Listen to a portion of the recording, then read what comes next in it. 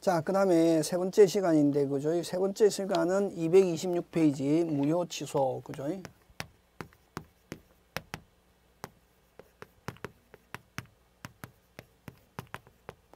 그래서 여러분 그 집에서도 그 강의를 듣고 문제를 풀 때 빨리빨리 풀고 빨리빨리 풀고 빨리빨리 해서 1회 독, 2회 독, 3회 독 이런 식으로 한 세 번 이상 봐야 된다.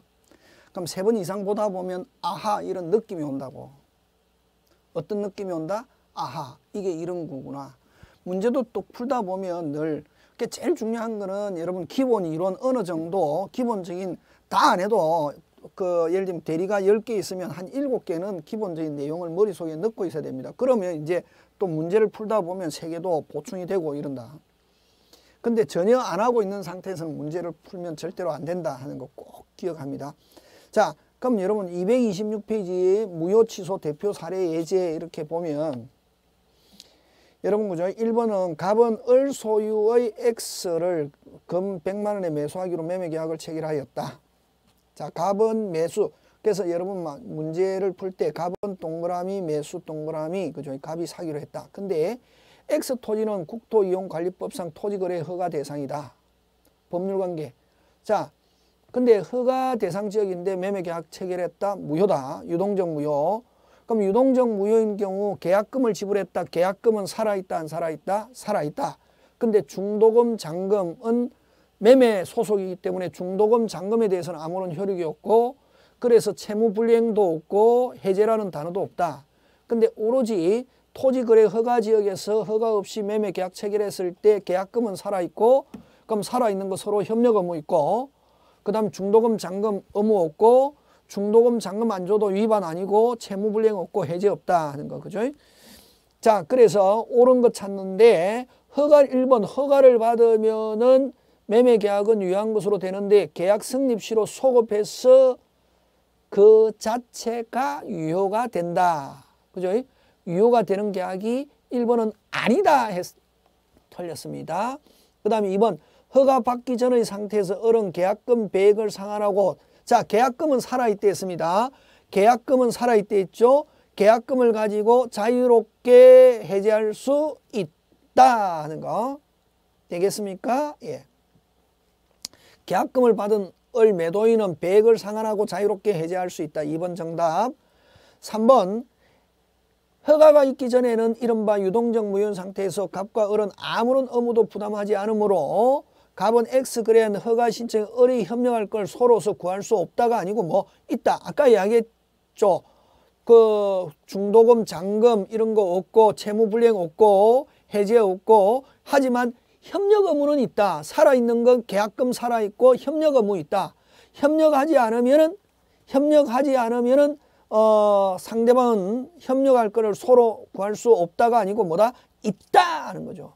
그래서 갑과 을은 서로 협력 의무 있다. 그래서 3번 틀리고 4번 만약에 계약금 지불했다 아직까지 그게 허가가 결정되기 전까지는 확정적 무효가 되기 전까지는 계약금 중도금 중개 있다. 돌려달라 할 수 없다 하는 거. 확정적 무효가 되면 부당이득으로 돌려달라 할 수 있지만 됐습니까? 불확정적 상태에서는 중거 부당이득 있다 없다? 없다 하는 거. 그대로 유효하다 하는 거. 그 다음 5번입니다. 계약 이후에 지정이 해제가 되면 해제가 된 그때부터 확정적 유효 이렇게 돼. 해제가 되었다 하더라도 확정적 유효가 되는 건 아니다가 아니고 확정적 유효 이렇게 되죠. 그래서 여러분 여기는 그 226페이지의 1번 대표 사례 예제 1번은 답이 지금 5번으로 되어 있는데 2번으로 고쳐야 되겠죠. 그죠? 그래서 2번 정답 되겠습니다. 몇 번 정답? 2번 하는 거. 자, 그 다음 2번으로 갑니다. 갑은 주 을과 그 소유 토지와 건물을 1억에 매도하는 계약을 체결해서나 청량에 다툼이 생겨 위 토지에 인접한 갑의 A 토지 부분은 위 매매 계약으로서 제외한다는 특약을 하였다. 자, 여러분 토지가 인접한 갑의 A 토지 부분은 매매 계약에서 제외. 자, A 토지 부분은 매매 계약에서 제외. A 토지 부분은 매매 계약에서 제외. 자, 요거 판례인데 시험 가끔씩 나오는 판례인데 특약을 하였다 판례 태도 타당한 거 냈습니다. 그래서 A 부분은 제외됐기 때문에 사기 강박 취소라는 게 없다. 왜? 제외됐기 때문에 아예 매매 자체가 되지 않았기 때문에. 그래서 A에 제외된 부분은 아, 뭐 사기 이유를 가지고 취소 있다. 너무 틀리다. 취소 있다 없다? 없다 하는 거. 그래서 틀린 것 몇 번이다? 아니 타당한 것몇 번? 1번. 사기를 이유로 A 토지 취소 없다 하는 거. 아예 취소 없고 그럼 유효로 취소가 아니라 아예 매매 자체가 없었기 때문에 취소 없다. 되겠습니까? 예. 그래서 어쨌든 취소 없다. 유효로서 취소가 없다는 게 아니라 매매 자체가 없었기 때문에 뭐가 없었기 때문에 매매 자체가 없었기 때문에 취소 없다는 거. 그런 것 여러분이 그죠? 어, 기억하면 돼. 그러면 2, 3, 4, 5는 다 틀린 어, 지문이 되겠습니다. 자, 그 다음에 자 최근 기출 문제 1번으로 갑니다. 자, 여러분 그죠? 그 228페이지 어, 1번. 자, 무효인 법률행위는 뭐 이런 거 나오면 틀리면 안 되죠. 여러분 지역권의 저당권 설정 있을 수 없고 하면 무효. 그럼 여러분 저당권 설정할 수 있는 것은 부동산 됐습니까? 부동, 물건으로는 부동산, 물건으로는 무슨 산? 부동산, 권리로는 지상권, 전세권 그 세 개. 부동산, 지상권, 전세권에 저당권 설정하는 계약 할 수 있지만 지역권에 저당권 설정 없다 하는 거. 그래서 틀린 건 몇 번? 아, 아, 무효인 건 몇 번? 1번 하는 거. 나머지 무효가 음식점의 음식 판매 이거는 단속 규정 위반으로서 그대로 유효고 제재의 대상이 될 뿐이다. 여러분 동의 없이 전대차 계약했을 때 계약 자체는 유효입니다.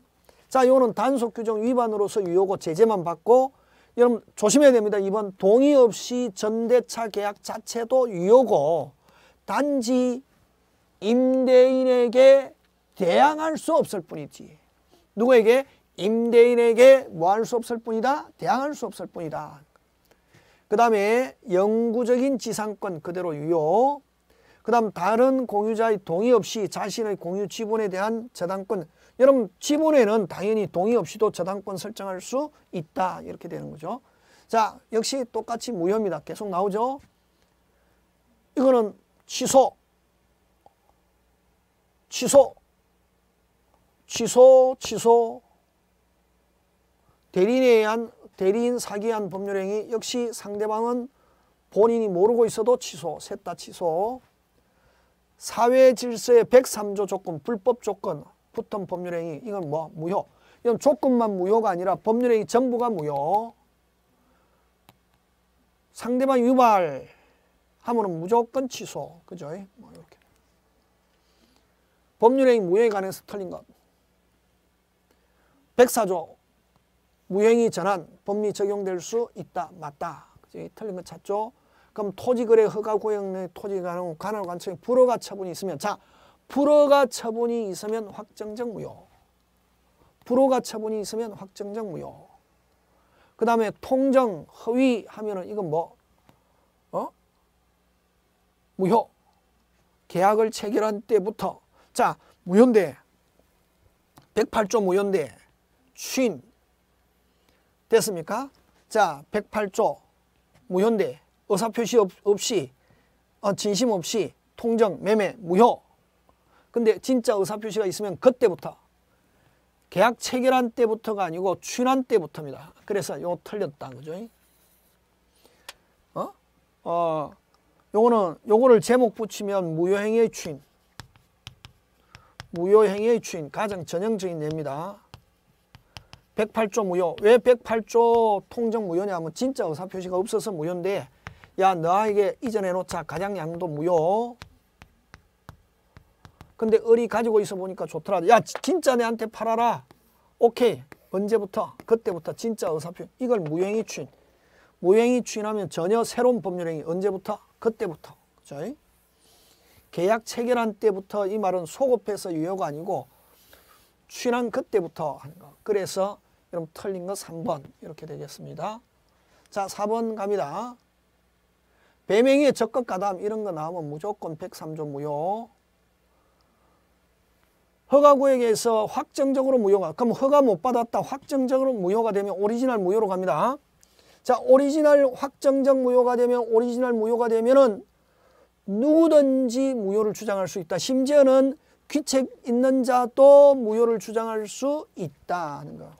그래서 누구든지 무효를 주장할 수 있다. 귀책 있는 자도 무효를 주장할 수 있다 하는 거. 그런 거 여러분 챙겨 주십니다. 자 4번 갑니다. 무효에 관해서 털린 거. 자 무효인 법률행위 추인 여러분 무효 추인 나오면 108조 108조 통정 가장양도 진짜 의사 표시가 없다 무효다. 가장양도 해놨다 무효다. 왜 무효입니까? 진짜가 없어가지고. 자 의사 표시 없이 가장양도 해놨다 무효. 가장양도 해놨다 무효. 자 을이 가지고 있어 보니까 좋더라. 야 정말로 내한테 팔아라. 진짜 의사 표시가 있으면 그때부터 이거 무효 추인. 그래서 무효 추인의 가장 어, 정확한 예 108조. 자 추인하면 그때부터 처음부터가 아니고 그때부터 요 무효는 그대로 있고 그때부터 전혀 새로운 법률이 그래서 처음부터 하니까 틀렸습니다. 언제부터? 진짜 의사표시가 있으면 그때부터. 그래서 틀린 거몇 번? 1번. 그 다음에 추인 요건을 갖추면 자 취소로 무효가 됐다. 취소로 무효가 되면 다시 무행위 추인 요건 갖추고 있으면 무행위 추인 꼬리 물기. 자 취소하면은 무효. 자 무효행위의 추인 요건 갖추고 있으면 다시 무효행위로서 추인할 수 있다 없다? 있다 하는 거 2번 좀 특이하죠. 기억해 놔야 됩니다. 자 103조 위반으로 무효인 경우는 추인 103, 104 추인 추정 없다. 자 103, 104 뭐 없다. 추인 추정 없다. 다 103, 104 뭐 없다. 추인 추정 없다 하는 거. 자, 그 다음에 오리지널 무효에서는 손해배상 없다 하는 거. 무효는 처음부터 아무 일이 아예 처음부터 아무 일이 없었기 때문에 무슨 배상 없다? 손해배상 없다 하는 거. 그 다음에 104조 무효, 폭력행위로 무효, 104조 무효, 불공정 법률행위 무효는 무효행위 전환 있다 없다? 있다 하는 거. 막 그런 거 여러분 챙겨주시면 되겠습니다. 자, 그 다음에 5번으로 갑니다. 자, 갑은 토지거래 허가 내의 자신, 자신의 을에게 매도하고 곧 허가를 받기로 하였다. 설명 중으로 온거 됐죠.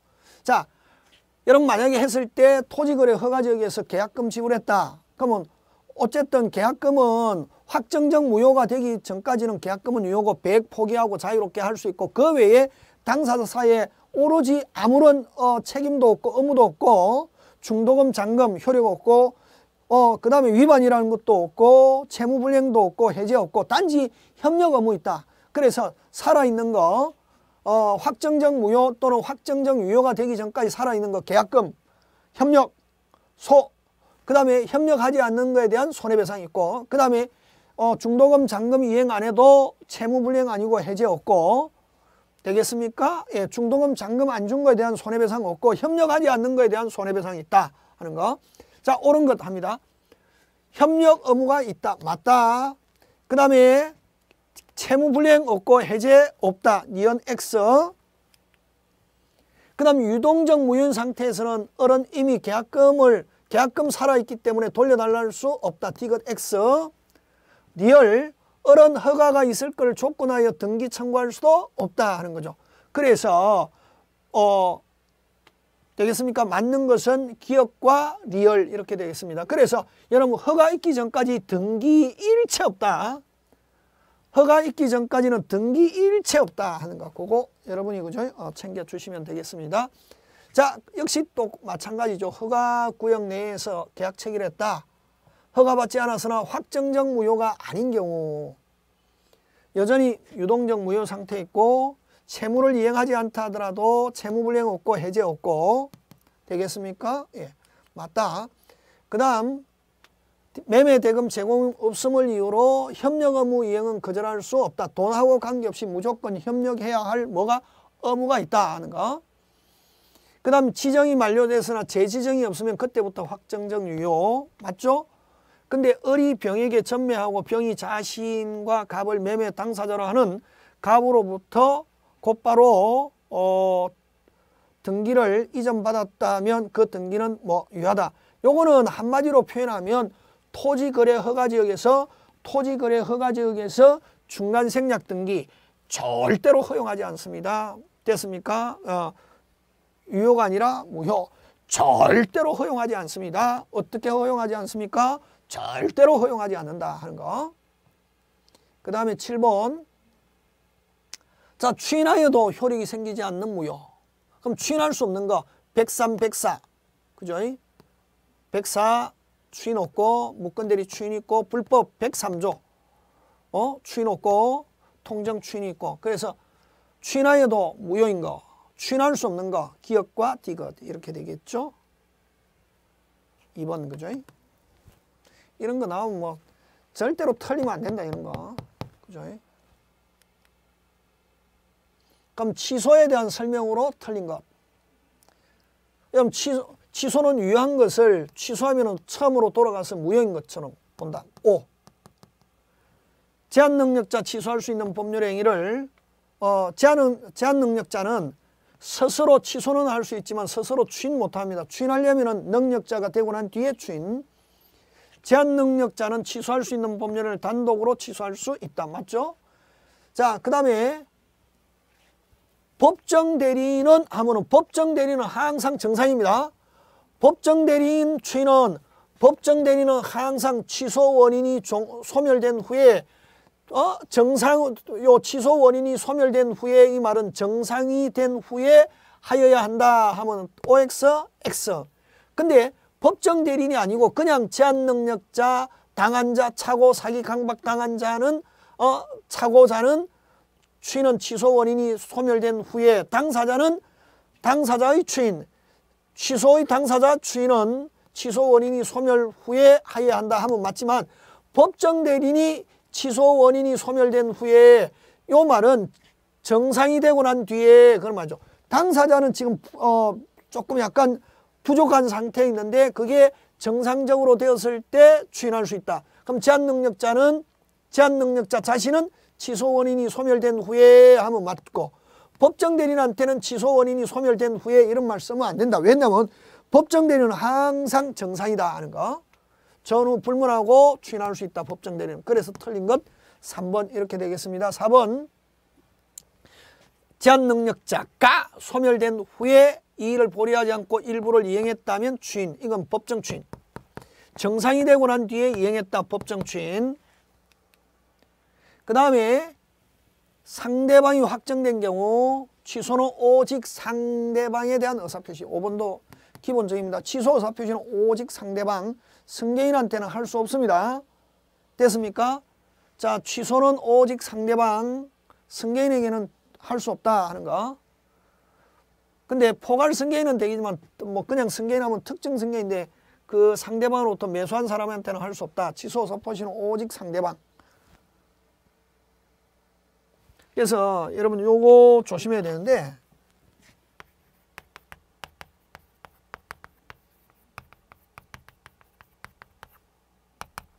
어사 표시 그죠? 오직 상대방에게만 할 수 있고 상대방의 특정 승계인에게는 할 수 없다. 거. 되겠습니까? 예. 근데 무건 대리 행위 행위의 취는 본인이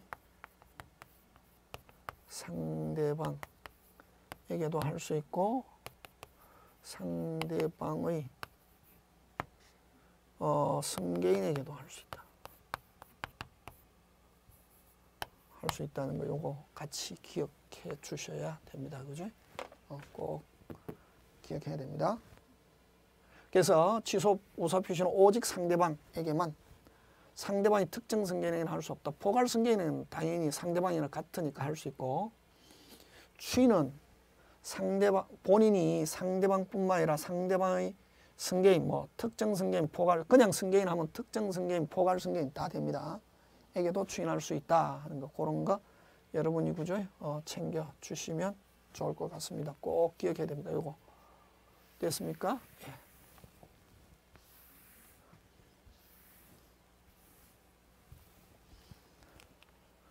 자, 그 다음에 9번.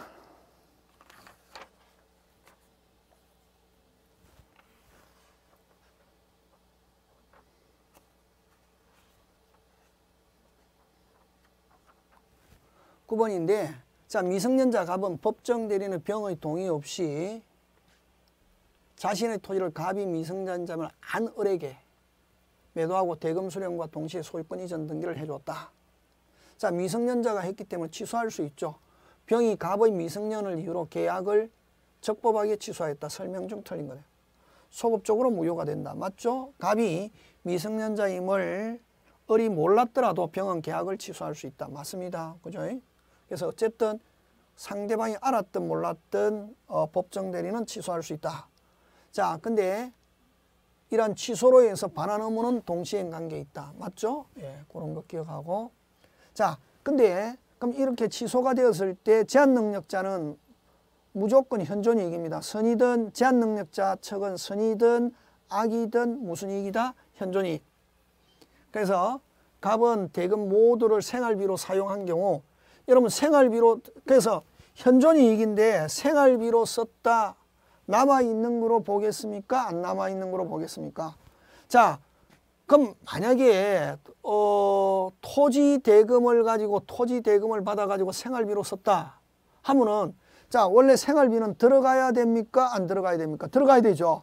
근데 만약에 그 토지 대금으로 생활비로 들어갔으면은 원래는 이 생활비가 봉급 받아 가지고 예를 들면 봉급 받아 가지고 월급 받아 가지고 생활비로 쓰는데 그럼 갑이 토지를 팔아 가지고 생활비로 썼다. 예를 들면 어 갑이 토지를 팔아 가지고 생활비로 썼다 하면 월급 받은 게 지금 남아 있습니까? 안 남아 있습니까? 남아 있다고 보는 거죠. 그래서 생활비로 사용한 경우는 현존이익으로 봅니다. 그래서 대금 전부를 반환해야 된다 이렇게 합니다.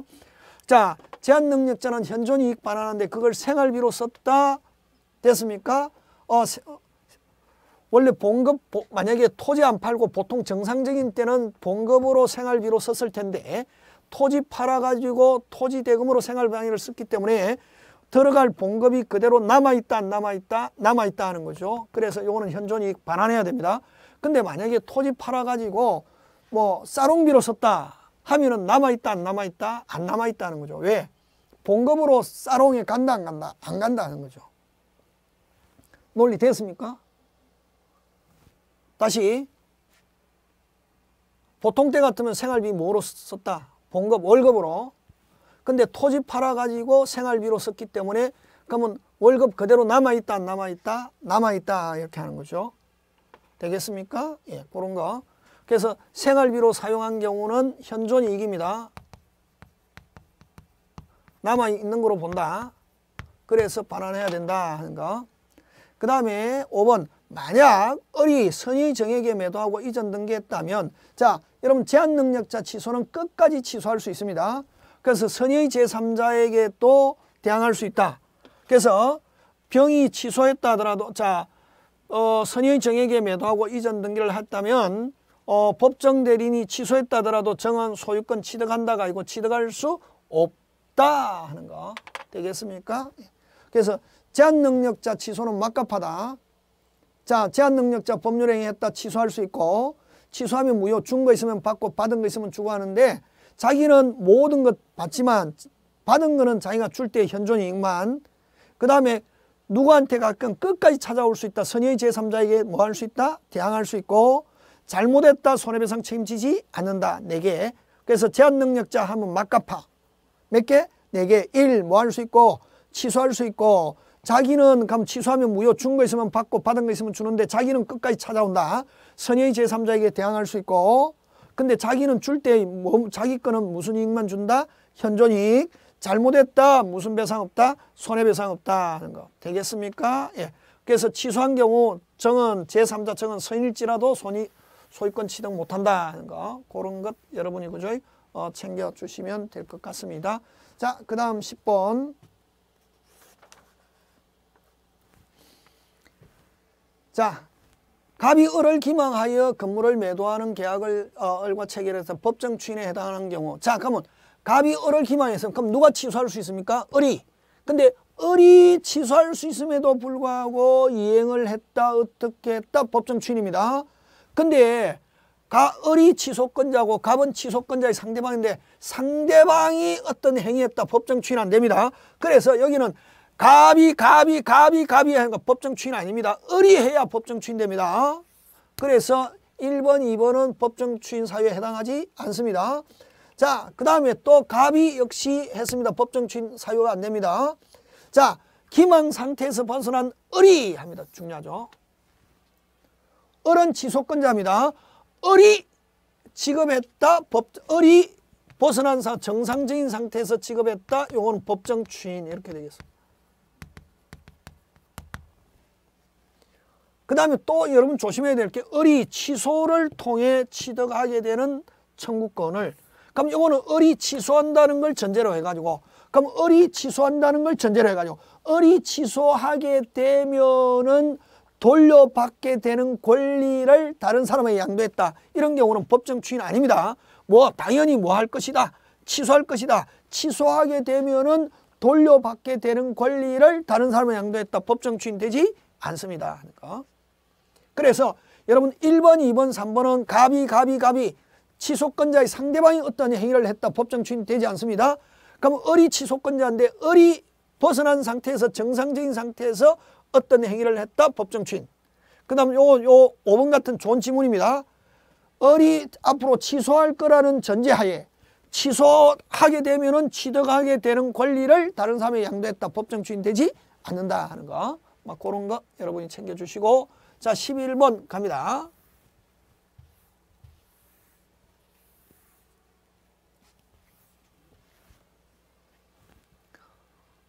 취소에 관해서 옳은 것, 그죠? 취소는 3년 넣으면 취할 수 있는 날 이렇게 해야 됩니다.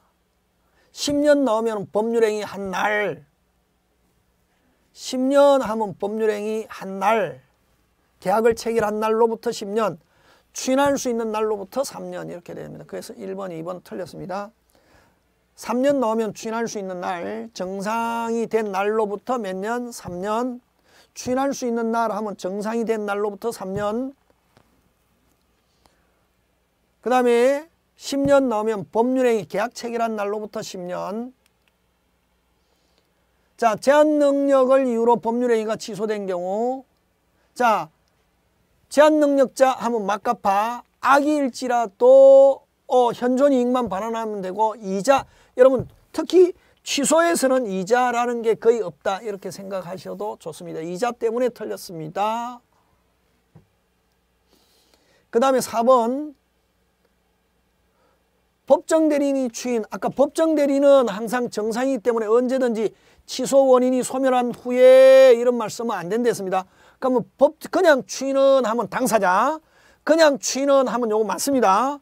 그냥 취는 하면 요거 맞습니다. 그냥 취는 아무 말이 없으면 당사자를 가리킵니다. 당사자의 취는 취소 원인이 소멸 후에만 효력이 있다 맞습니다. 근데 법정 대리인 취인의 취소 원인이 소멸한 후에 효력이 있다 하면 OX, X 이렇게 되겠습니다. 그 다음 5번 갑니다. 취소할 수 있는 법률 행위는 취인할 수 있는 추인할 수 있는 후에 자 취소할 수 있는 법 정상이 되고 난 뒤에 취소권자의 이행 청구가 있으면 자 정상이 되고 난 뒤에 취소권자가 어떤 행위했다 뭐 추인한 것으로 본다. 법정 추인 이렇게 되는 거죠. 그래서 맞는 것은 5번 이렇게 되겠습니다. 자그 다음에 12번으로 갑니다. 자